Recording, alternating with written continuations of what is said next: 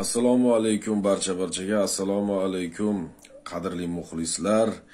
Bizani ko'rayotganlar ashaddiy muxlislarimiz e, poklonniklarimiz mm, e, judayam ko'p savol bo'lyapti.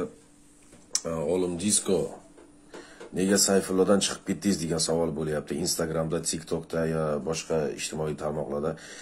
Hammasini man sizlarga aytsam endi hurmatli do'stlar elementar narsa vaqt yetishmasligidan u serialda hozir o'ynamayapman chunki man o'zim davlat ishida ishlayman undan tashqari boshqa ishlarimiz ham bor undan tashqari syomkalarimiz bor undan tashqari to'y hashamlarga ham chiqamiz gastrol safarlarda ham bo'lamiz hurmatli do'stlar to'g'ri tushuninglar elementarni oddiygina vaqt yetishmayapti hamma serial biz man лично o'zim uchta serialda tushardim rais degan serialda tushardim soddagina yaznam hamda sayfullohni izlab serialda tushardim raisdan vaqtimiz yetishmaganligi sababli chiqishga majbur bo'ldim.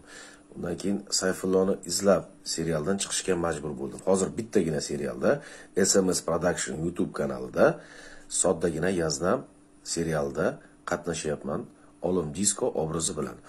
Ko'pchilik aytyapti urushib qolgansizlar kelishmovchilik bo'lgan boshqa boshqa boshqa pul sabab bo'lgan boshqa muammolar bo'lgan deyapti. Lekin hech qanaqa unaqa emas muammolar. Yo'q hammasi yaxshi. Biz ko'rishib turamiz gaplashib turamiz maslahatlashib turamiz qo'ng'iroqlashib telefonlashib turamiz. Faqat elementarno vaqtimiz yetishmayapti. Uchta yoki ikkita kinoda o'ynashga shuning uchun hozir faqatgina bitta sms production youtube kanalida soddagina yozdim filmida qatnashyapman. Mana to'g'ri tushunasiz degan umiddaman. Hammalaringizga xayrli kech.